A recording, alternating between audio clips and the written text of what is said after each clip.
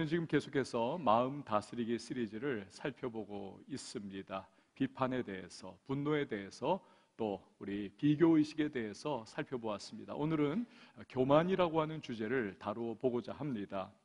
작년 10월입니다. 경제 전문지인 포브스가 아, 특집 기사 하나를 다루었습니다.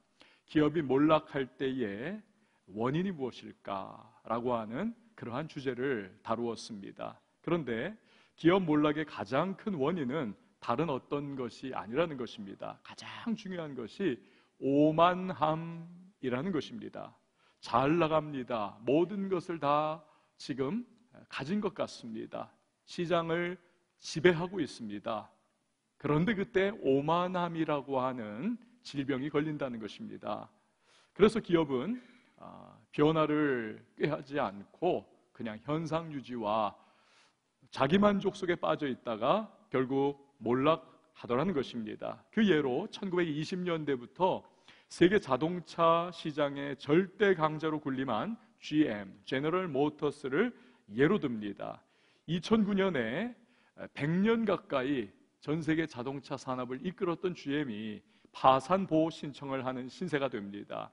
세계 최고라고 하는 오만함에 빠져 있었습니다. 기술 개발과 품질 혁신을 그들이 게을렀던 것이지요. 여러분 잘 아시는 코닥 역시 마찬가지 아닙니까? 카메라 필름 시장을 거의 뭐 독점하다시피 할 정도의 그러한 지배구조, 엄청난 절대 강자의 위치에 있었습니다. 하지만 오만함에 빠졌습니다. 디지털 카메라가 보급이 되는 것에 적절하게 대처하지 못하다가 또 고품질 카메라가 스마트폰에 장착이 돼서 나오는 부분에 있어서도 결국에는 이들이 적응을 못했습니다. 2012년에 파산을 하고 말았던 것이죠. 이 오만이라고 하는 것, 즉 교만이라고 하는 것은 아, 여러분 목회자에게도 마찬가지입니다. 위대한 설교자의 설교 역시도 한없이 무력화시키고는 합니다. 스펄전 목사님이라고 하는 분은 모든 목회자에게 있어서는 정말로 어, 사표와 같은 분이십니다. 정말 그렇게 살아생전 한 번이라도 저렇게 설교할 수 있었다면 그런 어, 우리의 기준이 될 수도 있는 그런 분이십니다. 지금 우리 한마음부 청년이 지금 이렇게 제가 소리를 지르면 거의 반응을 하는 것 같은데 어떻게 해야 될지 모르겠네요. 어, 그런데 지금 이 어, 디까지 했죠? 제가 지금 스펄전 목사님, 네, 이 스펄전 목사님께서 아, 설교를 워낙 잘하셔서 이분은 설교의 황태자라고 하는 그러한 별명을 가지신 분이십니다. 이 스펄저 목사님께서 그런데 여러분 어떻습니까? 원숭이도 나무에서 떨어질 때가 있다라고 하는 그 말처럼 하루는 주일 설교를 죽을 써버리고 말았습니다. 얼굴이 화끈거리고 설교를 하는 자기 자체도 지금 너무너무 힘든 그러한 설교를 계속 이어나갔습니다. 설교를 마쳤는데 분위기가 싸하고 성도들의 반응도 이전과는 전혀 다른 냉랭함입니다. 마음이 완전히 무너졌습니다. 그 괴로움으로 그날 밤 하나님 앞에 눈물로 하나님 이거 이게 무슨 일입니까 하면서 그렇게 기도를 했다고 해요. 그런데 다음 주일입니다. 지난주에 그 엉터리 설교를 보상하고자 하는 마음으로 한 주 동안 정말 열심히 준비를 했습니다. 그리고 사자우를 토하고 자기도 정말 힘냈고 성도들도 반응이 너무 좋았고 설교 다 마치니까 야 오늘 설교 잘했다라고 하는 으쓱한 마음도 들었습니다. 사람들도 역시 아유 은혜 많이 받았다 칭찬을 합니다. 그런데 나중에 알아보니까 웬일입니까? 놀랍게도 전에 했던 그 형편없는 설교를 통해서는 41명이나 되는 사람들이 구원받았다는 통계가 나왔습니다. 그러나 멋지게 잘했다 생각한 그 설교로는 단 한 명도 주님을 영접하지 않았다라고 하는 그러한 통계를 접하는 것이죠. 여러분 베드로전서 5장 5절을 보면 젊은 자들아 이와 같이 장로들에게 순복하고 다 서로 겸손으로 허리를 동이라 하나님은 교만한 자를 대적하시되 겸손한 자들에게는 은혜를 주시느니라 말씀하십니다. 즉 하나님은 교만한 자를 멀리하는 정도가 아니라 하나님은 교만한 자, 교만에 대해서 전쟁을 선포하실 정도로 대적하신다. 그렇다면 왜 하나님은 그렇게도 이 교만한 자, 교만이라고 하는 것을 그렇게 싫어하십니까?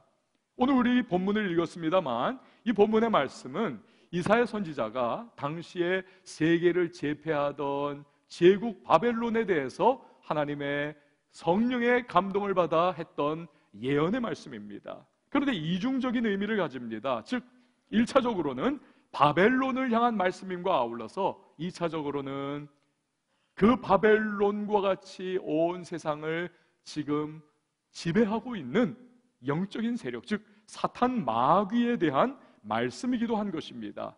여러분 12절 말씀 같이 한번 읽어보도록 합니다. 시작. 너 아침의 아들 계명성이여 어찌 그리 하늘에서 떨어졌으며 너 열국을 엎은 자여 어찌 그리 땅에 찍혔는고 아멘. 계명성이라고 하는 것은 오늘날 금성을 의미합니다. 비너스라고 하죠. 영어로는 금성. 그런데 이 금성, 이 계명성은 다른 어떤 별보다도 아니 태양이 뜨는 것보다도 먼저 뜹니다. 그리고 빛을 희미하게 밝힙니다. 그래서 아침의 아들이라고 하는 별명을 계명성에 붙였습니다. 마귀가 원래 그런 존재였던 것입니다. 하나님이 어떤 천사보다도 더 영광스럽게, 더 아름답게, 다른 모든 천사가 부러워할 정도로 그러한 천사로 창조를 했다는 것이죠. 그래서 빛나고 으뜸가는 의미를 지금 하나님이 부여하셔서 너 아침의 아들 계명성이요라고 마귀를 지칭하는 것입니다. 그러나 그가 하늘에서 떨어지고 나무가 베임받아 쓰러지듯 땅에 찍혀버렸다 말씀하십니다. 이유가 무엇입니까? 13절, 14절 말씀 같이 봅니다. 시작. 내가 내 마음에 이르기를 내가 하늘에 올라 하나님의 뭇별 위에 내 자리를 높이리라. 내가 북극 지폐의 산 위에 앉으리라. 가장 높은 구름에 올라가 지극히 높은 이와 같아지리라 하는도다. 아멘. 너무 아름답고 너무 월등하다 보니까 교만해지더라는 것이죠.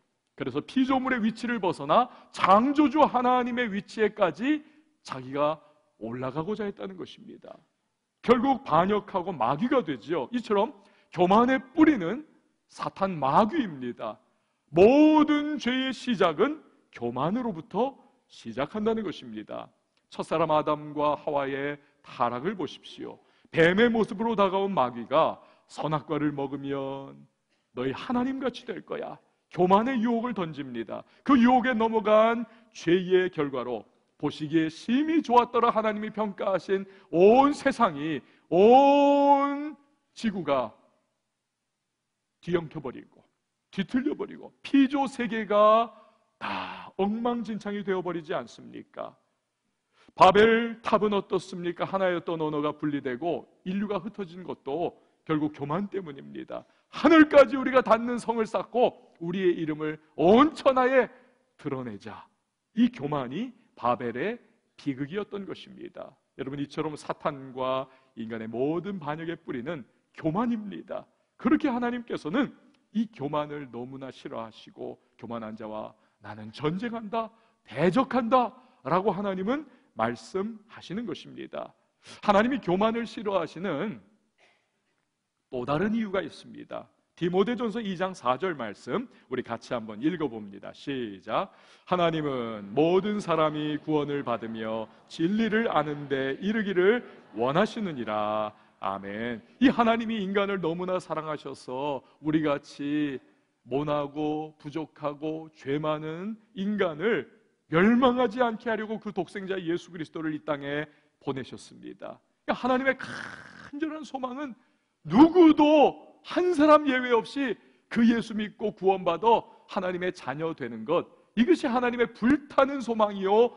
우리를 향하신 하나님의 마음이라고 하는 사실입니다. 그런데 예수를 믿는 마음은 어떻습니까? 먼저 예수 믿기 이전에 전제 조건이 있습니다. 그것은 내 마음이 가난해져야 된다는 것입니다. 부드러워져야 된다는 것입니다. 내 마음이 가난하고 부드러워져서 예수밖에는 없습니다. 내 능력과 내 힘은 무능합니다. 나는 의가 없습니다. 나는 구원받을 능력이 전무합니다라고 하는 이 가난한 마음이 될 때에 그때 예수의 복음을 받고 나 위하여 십자가 죽으신 그리스도를 내가 믿음으로 영접하게 되는 것입니다. 그렇기 때문에 마태복음 5장 3절에 보면 심령이 가난한 자는 복이 있나니 천국이 그들의 것이미요. 심령이 가난해야 된다는 거예요. 문제가 뭐냐면 너무 잘났습니다. 너무 가진 게 많다 생각합니다. 스스로 의롭다고 생각합니다. 과학적이고 이성적이고 합리적이고 자기 머리를 신봉합니다. 그래서 구태연하다 복음이라고 하는 것은 이건 옛날 얘기야. 이건 비과학적이야, 비합리적이야, 비이성적이야 라고 그렇게 내팽개쳐 버립니다. 시편 시편 4절은 그걸 교만이라고 합니다. 아기는 그의 교만한 얼굴로 말하기를 여호와께서 이를 감찰하지 아니하신다 하며 그의 모든 사상에 하나님이 없다 하나이다. 여러분 이처럼 사람들이 왜 하나님의 고귀한 선물인 예수를 믿지 않느냐? 그 안에 교만함이 뿌리로 놓여 있기 때문이라는 사실입니다. 그래서 19세기에 남아프리카의 성자로 불리운 앤드루 머레이라고 하는 목사님은 이런 말씀을 했습니다. 한번 잘 들어보십시오. 교만은 당신 안에서 죽어야 합니다. 그렇지 않으면 하늘의 그 어떤 것도 심지어는 하나님의 놀라운 선물인 구원도 얻을 수 없습니다. 당신 안에 살아있을 수 없습니다. 교만은 지옥의 전부입니다. 교만한 사람은 지옥이죠. 결국 믿지 않고 당신 안에 있는 교만만큼 당신 안에 타락한 천사들이 살아있는 것입니다.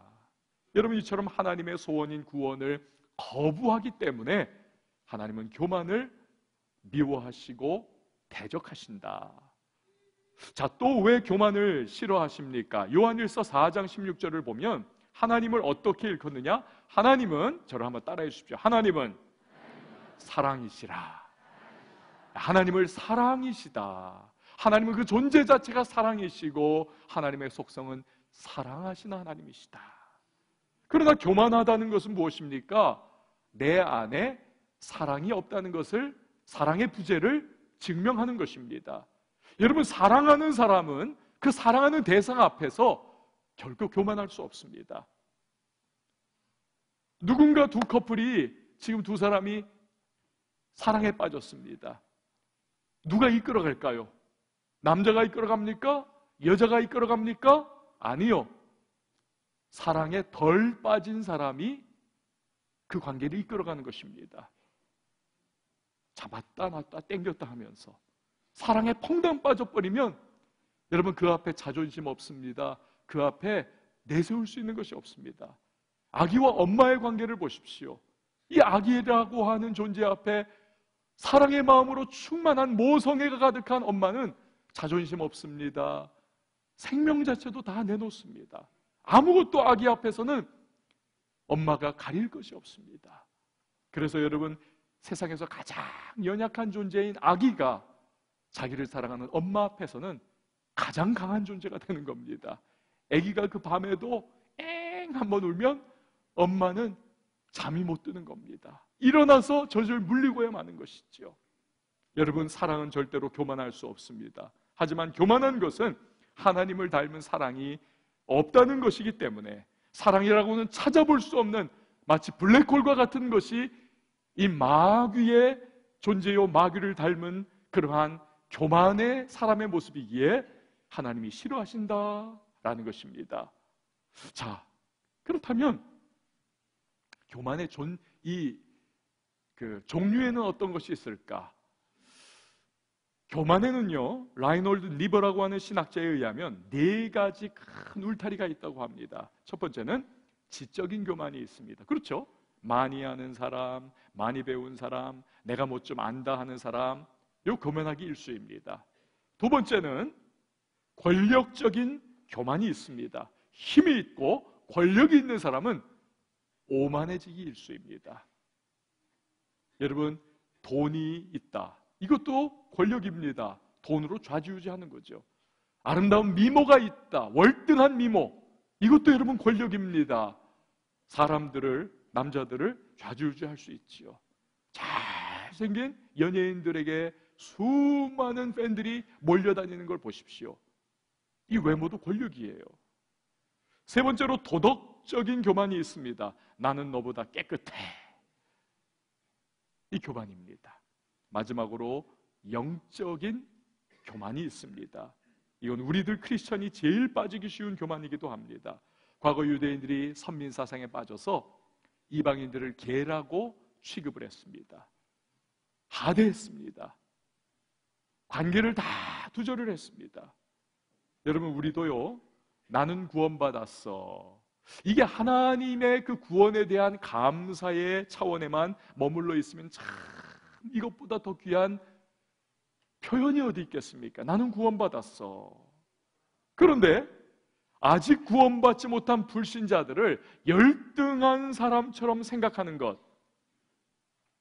심지어는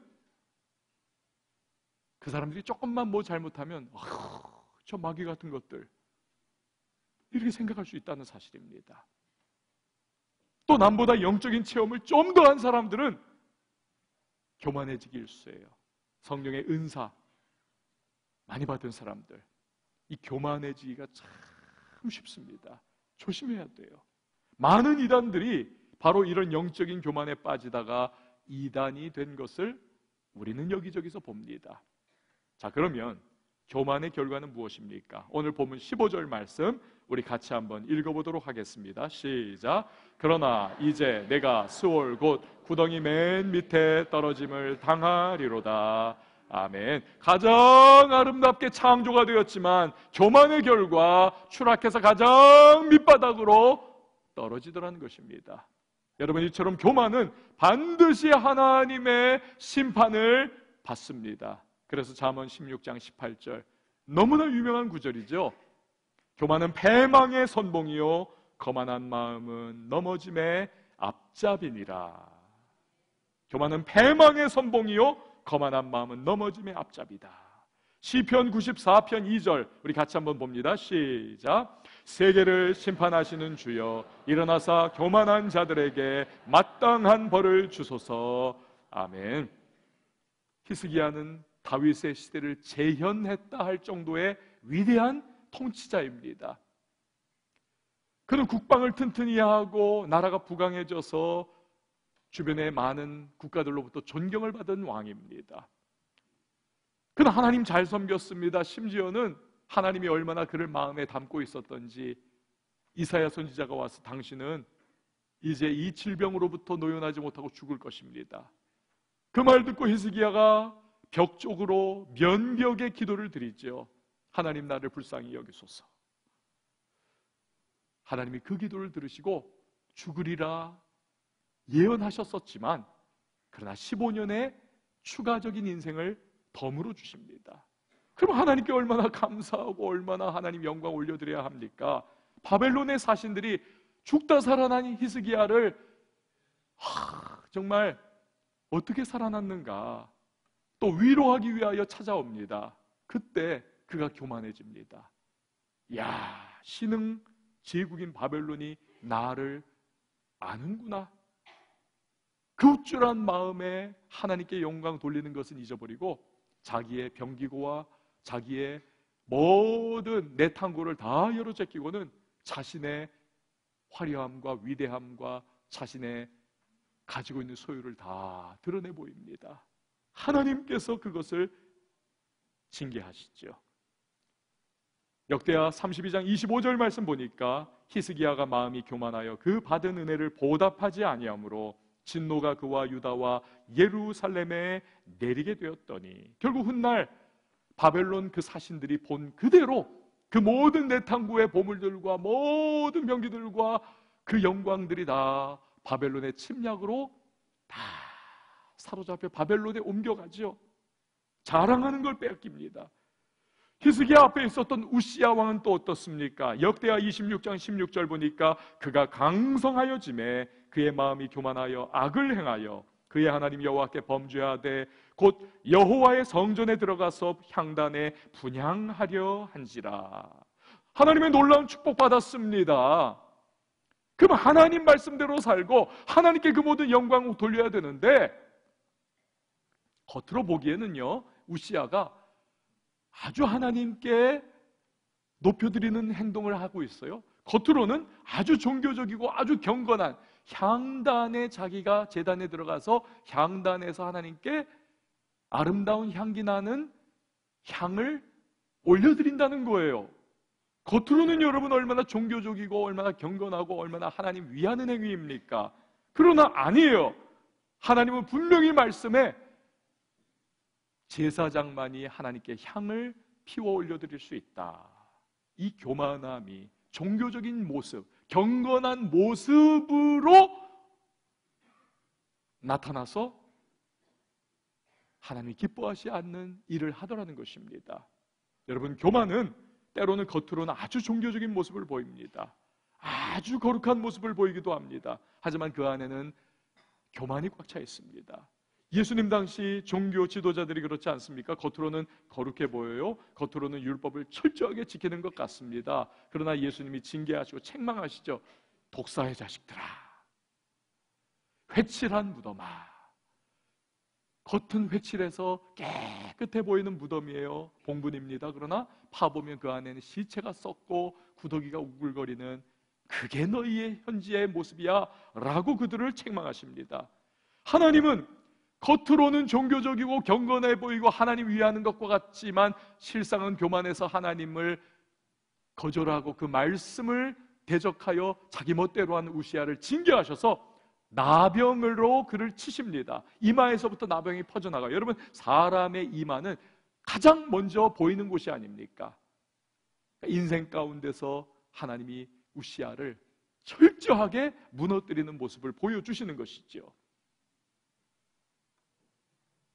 오늘도 여러분 교회 안에서 겉으로는 아주 신앙이 좋은 것 같고 교회 일 열심히 하는 것처럼 보일 수 있습니다. 그러나 그 진짜 동기는 교만이 있을 수 있습니다.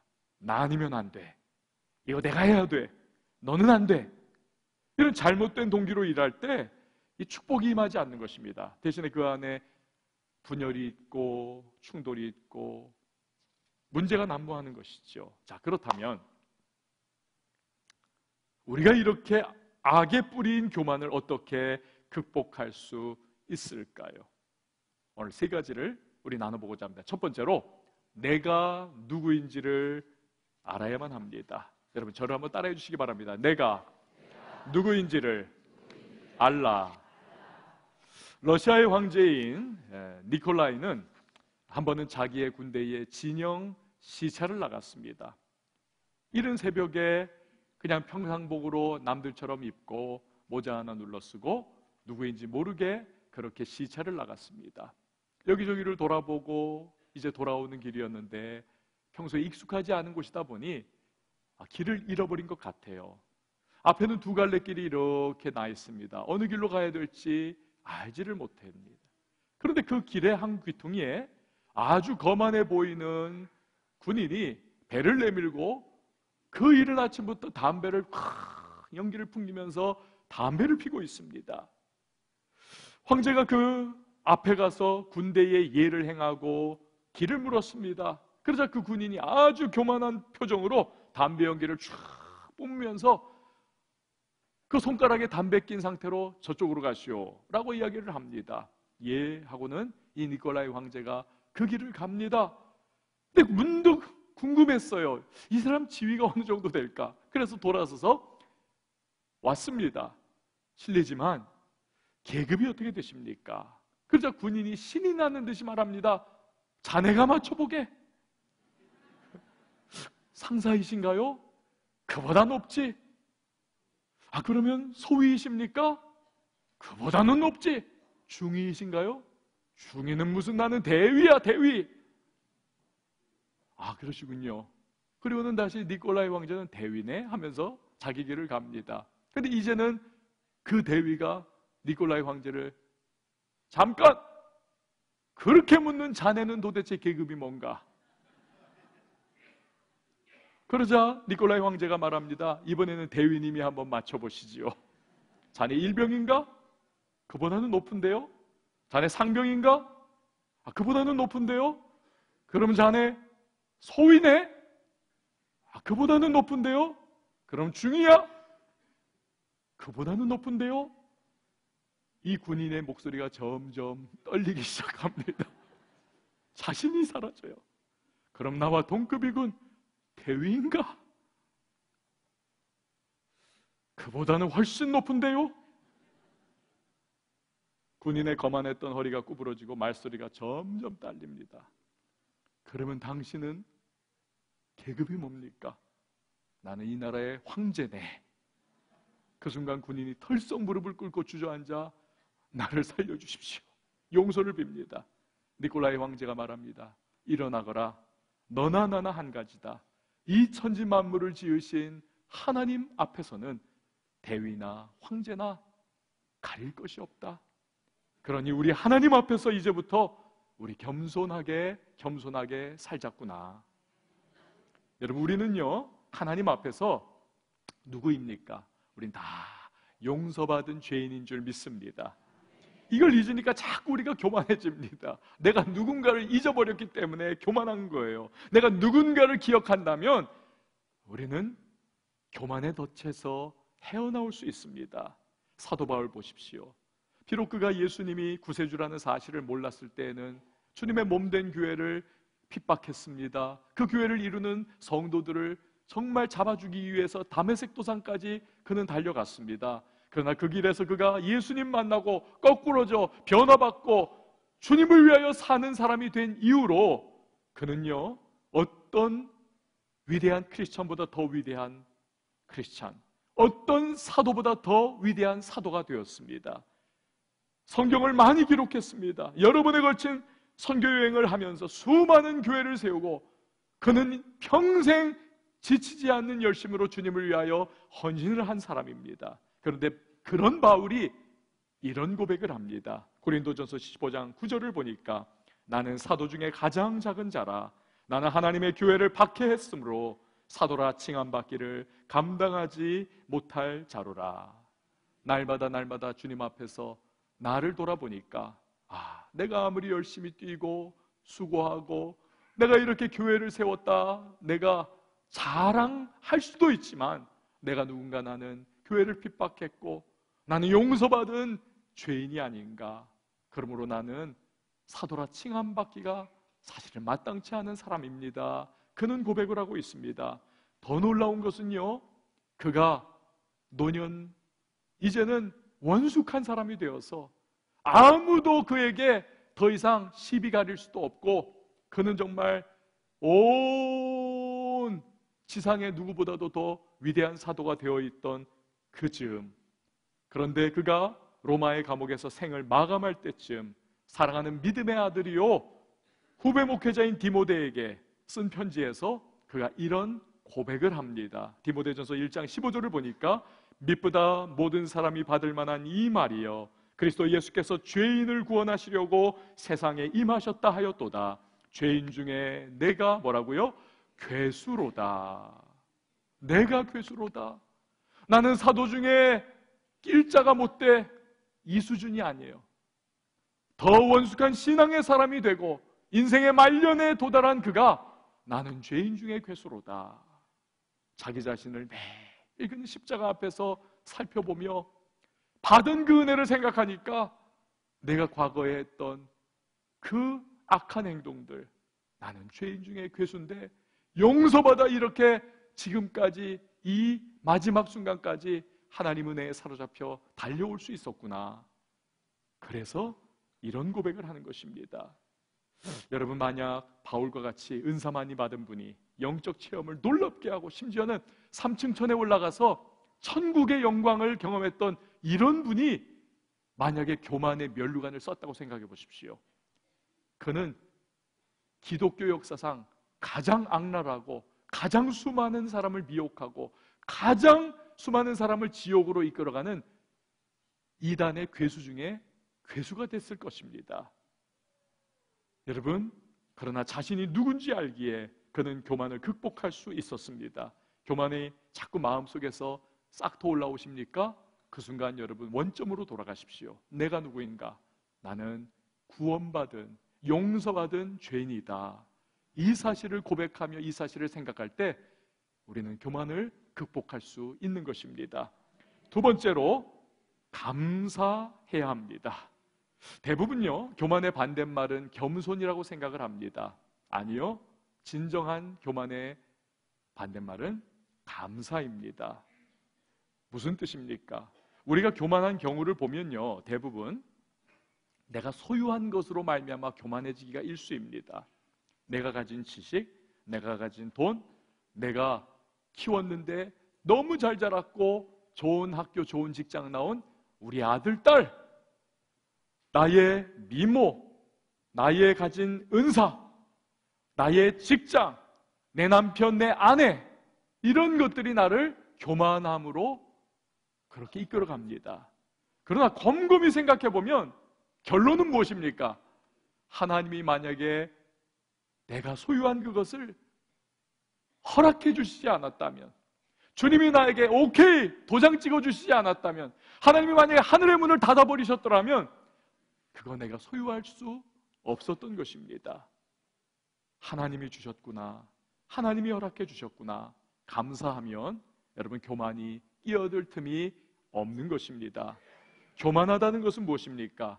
바로 그 순간에 내가 감사를 놓쳐버린 것입니다. 감사를 잊어버린 것입니다. 그러니 하룻강아지 범 무서운 줄 모르듯이 부뚜막에서 올라가서 교만의 말을 막 내뱉고 교만의 생각을 하고 있는 것입니다. 어느 목사님께서 이번도 또 설교 얘기인데요. 설교를 정말 잘하셨습니다. 설교를 그냥 자기도 딱 하는데 그냥 술술술술 나오고 성도들 반응도 좋고 어, 막 그냥 너무너무 좋았어요. 근데 여러분 아시죠? 목회자들은 어, 설교 은혜 받았습니다. 그러면 제일 기분이 좋은 거 아시죠? 아까 2부 예배 끝나고 나서 제가 성가대 이렇게 3부 올라올 때 이렇게 통과해서 올라오는데 역시 타이밍이 좋은 분이 좋아요. 목사님 설교 은혜 받았습니다. 그런 말 또 누군가 하시더라고요. 제가 피식 웃었습니다만 하여튼 목회자들은 설교에 은혜 받았다면 너무 한 주 동안의 설교 준비에 노고가 다 봄눈 녹듯이 사라지는데 아 설교 다 마치고 나니까 역시나 어떤 여자 집사님께서 아우 목사님 오늘 설교에 너무 은혜를 많이 받았습니다. 그 순간 이 목사님이 이렇게 대답을 하셨다고 합니다. 그렇잖아도요. 제가 설교를 마치니까 마귀가 제 마음속에 야, 너 오늘 설교 잘했다 라고 이야기를 하더군요. 여러분 하나님이 은혜를 주시지 않았다면 성도님들의 마음에 옥토밭의 준비를 해 주셔서 말씀을 잘 받도록 해 주지 않았다면 설교 아무리 난리법석을 쳐도 은혜 없는 겁니다. 사랑하는 성도 여러분, 교만한 마음이 슬그머니 올라오려고 하면 내가 가진 것의 출처를 한번 생각해 보십시오. 하나님이 주시지 않았다면 가질 수 없는 겁니다. 그러므로 대신 감사해 보십시오. 하나님 감사합니다. 그럴 때 교만이 떠나가게 될 줄 믿습니다. 세 번째로 우리는 겸손을 훈련해야만 합니다. 방탕한 쾌락주의자에서 기독교의 성자가 된 어거스틴이 이런 말을 했습니다. 기독교의 첫 번째 훈계가 뭐냐고 나에게 묻는다면 나는 그 첫 번째는 겸손이라고 하겠습니다. 그러면 두 번째는 뭐냐고 묻는다면 두 번째도 겸손이요. 세 번째가 뭐냐고 한다면 세 번째도 겸손이라고 나는 대답을 하겠습니다. 여러분 그렇습니다. 우리는 겸손으로 복음을 받아들여 구원을 받습니다. 겸손으로 하나님의 말씀을 붙잡아 따라 살아갑니다. 그렇게 겸손으로 주의 말씀을 따라 살아갈 때 하나님께서 복을 주시는 것입니다. 그래서 잠언 22장 4절은 겸손과 여호와를 경외함의 보상은 재물과 영광과 생명이라고 말씀을 하십니다. 이게 겸손이라고 하는 것이 이게 얼마나 큰 축복인지 모릅니다. 공격은 최상의 방어라고 하는 말이 있지 않습니까? 그렇게 우리는 겸손을 훈련을 계속해야만 하는 것입니다. 그러면 우리 겸손의 모범이신 분은 누구십니까? 마태복음 11장 29절 말씀 우리 같이 한번 읽어보도록 하겠습니다. 시작. 나는 마음이 온유하고 겸손하니 나의 멍에를 메고 내게 배우라. 그리하면 너희 마음이 쉼을 얻으리니 아멘. 그렇다. 그렇습니다, 여러분. 우리의 겸손의 모델은 예수 그리스도이신 줄 믿습니다. 하늘 보좌 앉으셨던 분이 더러운 구유에 누우셨습니다. 인간의 약한 몸으로 세상을 살아가셨습니다. 그리고 마지막 순간 하나님 앞에 겸손으로 복종하셔서 십자가를 지시기까지 하십니다. 우리는 이런 예수님의 겸손을 모범으로 살아가야 될 줄 믿습니다. 그러나 우리의 육적인 욕망이 그것을 자꾸 방해하죠. 교만이 자꾸 싹틉니다. 그렇게 우리는 끊임없이 기도하면서 성령의 도우심을 구해야 합니다. 예수의 영이신 성령께서 우리 안에 교만이 싹 트고자 할 때에 그 교만을 꺾는 훈련을 이끌어 가시는 것입니다. 감사하게도 여러분 하나님은 겸손한 자에게 은혜를 베푸시는 하나님이신 줄 믿습니다. 그래서 겸손한 자를 높여 주시는 거죠. 베드로전서 5장 6절에 보면 그러므로 하나님의 능하신 손 아래서 겸손하라. 때가 되면 너희를 높이시리라. 그렇습니다. 교만하면 맨 밑바닥까지 하나님이 낮춰버리시지만 자기가 낮아지고 겸손해지면 하나님이 그의 권능의 능력의 오른손으로 높이 높이 세워주실 줄 믿습니다. 바울은 디모데에게 경건에 이르기를 연습하라 말씀하셨습니다. 그런데 경건의 극치는 겸손입니다. 왜요? 아무리 경건으로 경건으로 둘러싸였어도 교만하면 그 경건 다 한순간 사라져 무너져 내립니다. 경건의 극치, 경건의 알짜배기는 바로 겸손인 것입니다. 그러므로 이것을 훈련하라는 것이죠.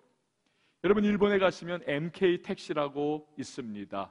일본 최고의 택시 회사입니다. 한 해에 지난 2014년만 5천억 원을 이 택시 회사가 올렸습니다. 연매출 타임즈는 MK 택시를 서비스 세계 제일의 기업으로 선정을 했습니다. 밤길에 혼자 외딴 시골에 있는 여성분들 차 타기 참 걱정되잖아요. 그런데 MK 택시는 무조건 아무 거리낌 없이 탑니다. 너무 친절하고 너무 잘 섬겨주고 너무 서비스가 좋기 때문에 그렇습니다. 근데 이 MK 택시를 설립하신 분들이 한국계입니다. 유봉식, 유태식 형제. 이들은 독실한 크리스천입니다. 회사를 처음 설립할 때 그들은 기업 경영에 우리 정신을 무엇으로 삼아야 되는가? 우리는 성경에서 그 기업 정신을 찾자. 그들이 붙잡은 말씀이 마가복음 10장 45절이에요. 예수님의 말씀입니다. 인자에 온 것은 섬김을 받으려 함이 아니라 도리어 섬기려 하고 자기 목숨을 많은 사람의 대속물로 주려 함이니라. 아, 우리 회사는 섬기는 회사가 되자. 그래서 사장님들부터 직원들을 잘 섬겼습니다. 그 DNA를 가지고 이 MK 택시 회사의 운전기사분들이 정말 승객들을 잘 섬기고 최선을 다한 서비스를 하다 보니까 사람들이 똑같은 경우에 우리는 MK만 탈 거야. MK 택시가 번창하고 번창하고 번창하고 결국 겸손으로 허리를 동이니 하나님의 말씀으로 섬기는 모습으로 나아가니 낮아지며 그렇게 최선을 다하니 하나님이 그들을 높이 세워주시며 살아있는 하나님의 놀라운 증거가 되도록 은혜를 베풀어 주시더라는 것입니다. 사랑하는 성도 여러분, 오늘은 이 시대는 교만 촉진 시대입니다. 네가 너 자신을 피하래야 돼. 너 겸손하면 밀리는 거야.